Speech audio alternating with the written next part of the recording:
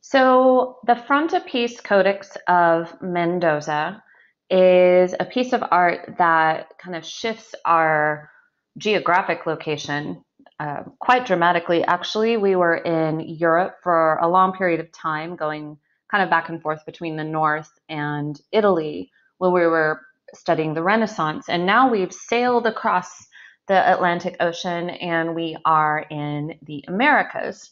And so this piece is what's known as a codex, so more of like an ancient manuscript or book. So that should be one of your vocab terms.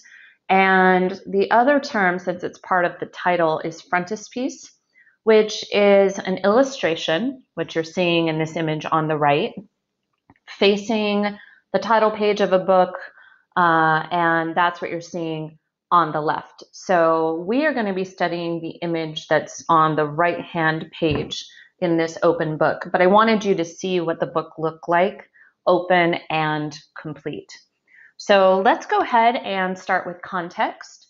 And the book itself, this codex, was created about 20 years after the Spanish conquest of Tenochtitlan, which today is Mexico City.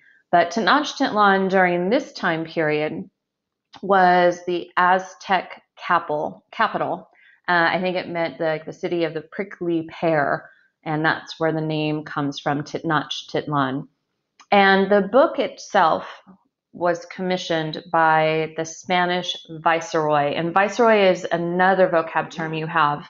And viceroy just means basically it's a ruler who is um, the figurehead and authority on behalf of a sovereign or you know like a king or a queen. And the viceroy is usually living in the colony or the conquered territory uh, that now the king rules. And so the king in this particular story is charles v from spain.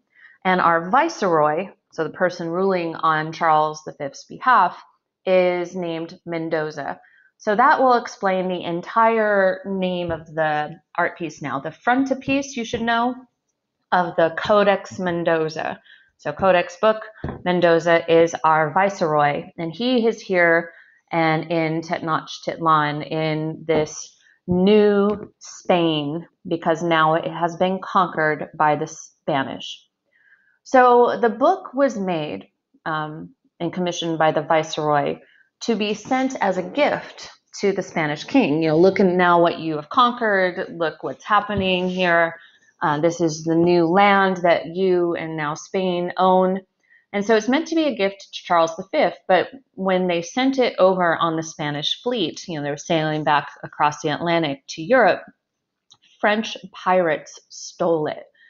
And it eventually makes its way to France, where a man named Andre Thevet uh, acquired it, and he was like the um, worked in for the King of France, King Henry.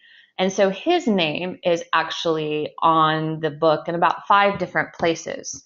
So if you look at the top of this particular page, this frontispiece page, you see A period Thevet and like cosmographer, uh, I think his work title. And again, he's working for Henry uh, the king of France. So the Spanish king never gets this book, which was intended for him. Um, in terms of artists, you'll notice on the ID information, uh, native indigenous artists, you know, the Aztecs actually make the images.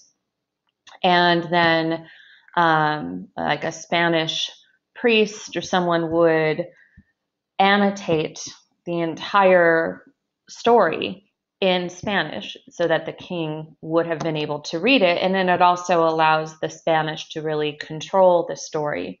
So that's um, part of the um, book that you'll see if you go back to that book. You can see in the front all the text on the left hand side that's in Spanish that would have been written by the Spanish priest.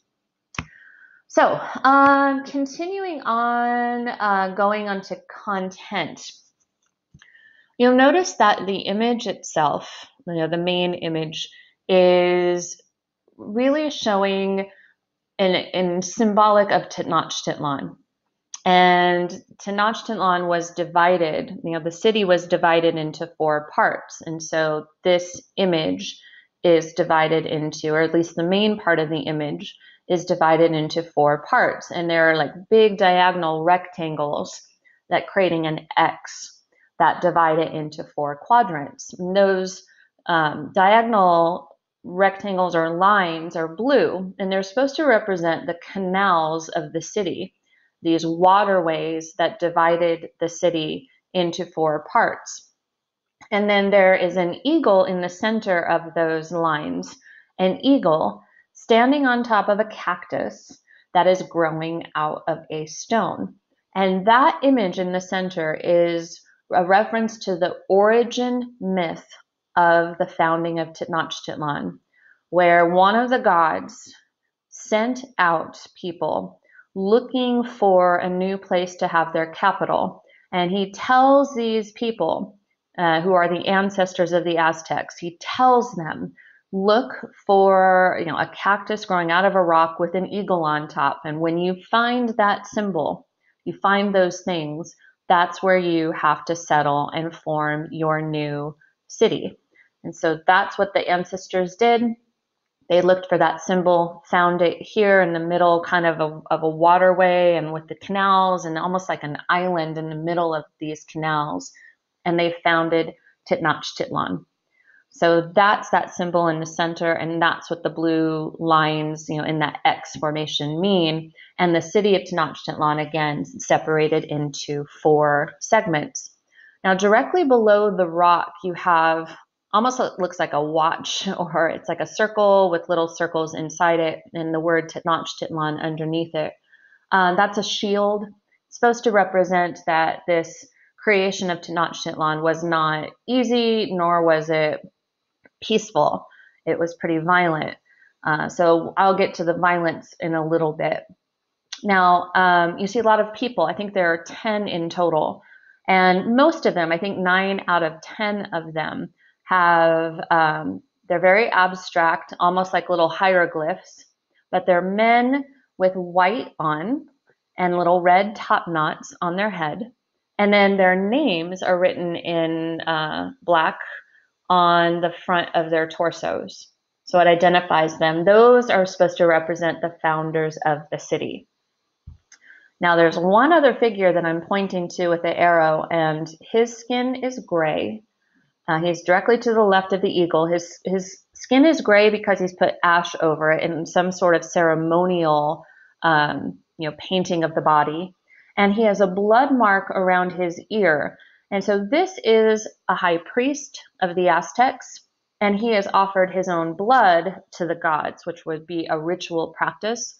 And he's sitting on a, a different kind of a mat than everyone else is sitting on. So it, it highlights him as special and unique. Um, now, around all the individuals, the people I just talked about with the white and the top knots and the priest, you have a little bit of organic elements those are crops. Uh, the Aztecs grew mostly corn, so it also gives you a little bit of a notion that it's an agricultural society and that they grow corn. And then at the bottom, like the bottom quarter of the image, you have the military conquest. You have two Aztec soldiers with the shields again, looks like chocolate chip cookies. And then you have some temples. So in hierarchy of scale, showing the Aztec military as more powerful and they are conquering an enemy. So that is the entire kind of imagery that you see in uh, the top and then the lower part of the piece. The only other thing I didn't mention, and I wanted to show you a little bit close up, around the perimeter of the image, you have these glyphs. Now, glyphs, like a, uh, a little symbol, uh, like a hieroglyph you know, those pictograph symbols that we had in Egyptian art. You have this blue perimeter with these little symbols or glyphs, and each symbol, it represents uh, a 52 year cycle. Oops, I put cycle twice of the sun.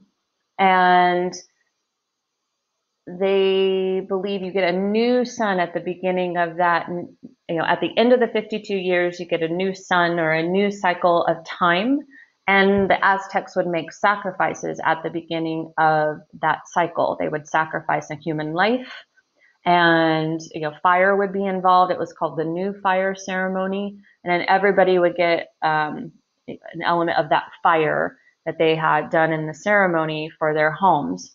So that border around it marks their cycle of time and this cycle of the sun. So that's what's around the border of the entire image that you can see here uh, a little bit more clearly. And the only other thing I think I have, I wanted just to, to talk to you about on with the top image, with those four quadrants, not only is it showing that the city was divided into four quarters, they divided the city into four quarters because they believed that the universe was also divided into four segments along the compass points of north, south, east, west. So the Aztecs were trying to create with Tenochtitlan uh, almost like an earthly replica of what they believed the cosmos or the universe, you know, how that was arranged to the, connect them clearly to the divine. So that's something you could put in uh, context if you'd like. I think that would work there. And the other thing I wanted to show you is is more of you know just kind of informing you and, and letting you see how these ancient stories and art impacts you know, a culture and their symbology now. And the Mexican flag that you're looking at in the lower right hand corner has the eagle with the cactus growing out of a rock symbolism. So that symbol comes from this ancient story of Tenochtitlan's founding, uh, ultimately then Mexico City's, and the story of the Aztecs. Um, but remember that this piece is different than what we've done so far. We're now talking about a European group of people and an empire with the Spanish coming across the sea and attacking, overpowering, and conquering, you know, this new land and taking over the land and the power from the indigenous people, which in this case it was the Aztecs. And then you have art made during this time to reflect that. And so that's really what is important with the frontispiece of the Codex of Mendoza. We're starting to introduce some colonial uh, art, this you know, colonial Americas, where the Americas, you know, all the way from South America to North America, how different parts of it were you know, colonized and controlled by European powers.